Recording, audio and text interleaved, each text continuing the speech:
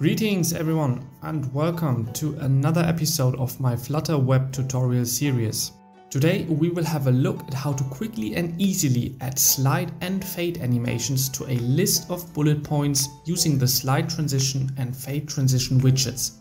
So after this video you will have the right tools to add simple, easy to implement slide and fade animations to your Flutter application and give it a certain something. So make sure to stay tuned and enjoy the video. Before we start, I wanted to give a quick shout out to Joao Soares and his take on the slide transition and fade transition widgets, inspiring me to use these two widgets for my website and adapt my code accordingly.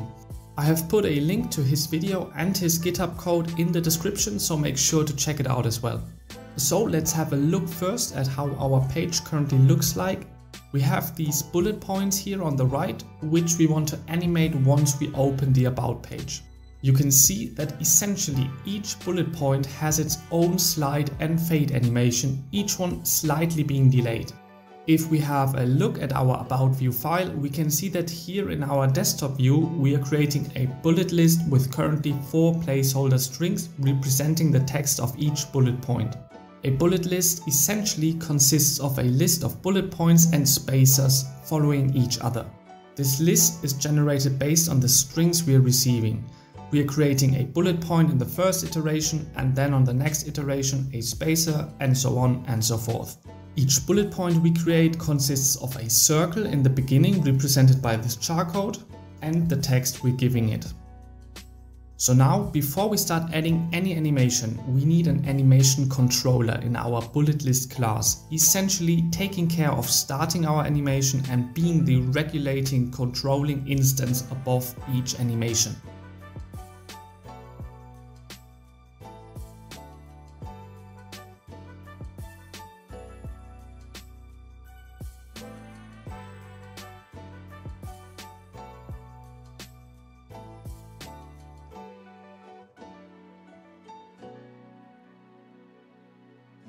In our init state method, we want to initialize our animation controller by providing it with a ticker provider, which will be the state class using the with single ticker provider state mixin, and by providing it with a duration of how long our animation should play.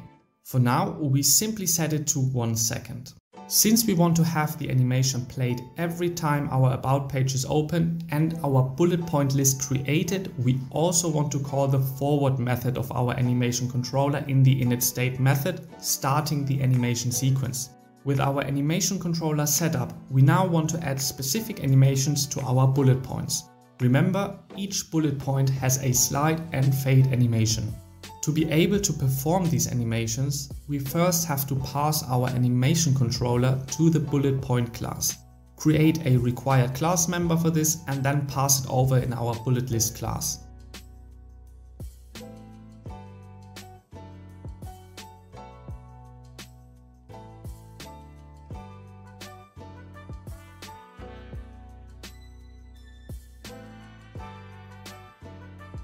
Now let's add the fade animation first. For this, simply wrap our row with a fade transition widget and set its opacity to being our animation controller.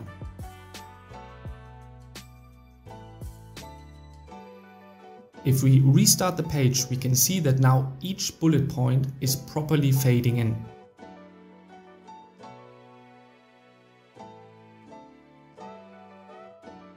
To add the slide animation, wrap the fade transition widget with a slide transition widget. Now we need to add a position value to know where our slide animation starts and where it ends. For this, we are creating a tween of offsets. An offset consists of a horizontal and vertical value. So here our initial offset is slightly to the right of our current position and the end value then includes no offset at all. So with the help of the tween, we are now animating between these two offsets and thus creating the effect of a sliding motion. To actually be able to animate, we then need to call the animate method and give it our animation controller. We start the page and see how it looks.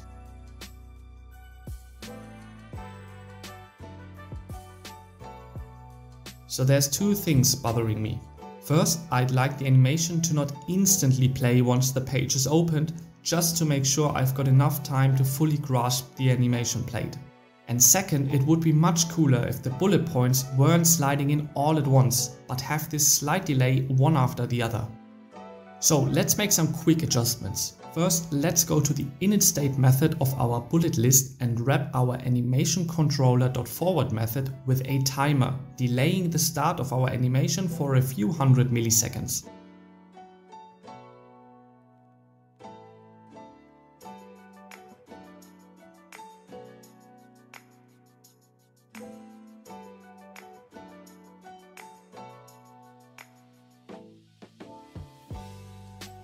Now to the delay of the bullet points. Let's imagine our animation on a timeline starting from 0 and ending at 1. Currently all bullet points come at once. However, we'd like them to be a bit delayed but still overlapping. To achieve this, we need to work with the interval class, allowing us to set a start and end point within the time frame of our animation. So in our example, we'd like to have intervals looking like this for example. So let's go back to our bullet point class and do some adjustments. First, we need to replace the animation controller here with a curved animation. Its parent will be our animation controller and the curve will be an interval.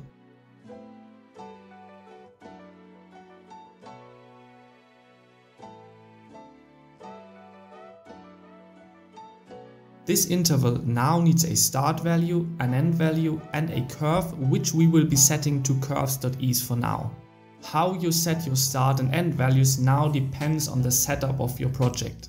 Since I'm using the bullet point class multiple times but still want these different intervals, I need to pass over the index of the current bullet point and calculate a start and end value dynamically. The only constraints you always have to watch out for are that your start and end values are between 0 and 1.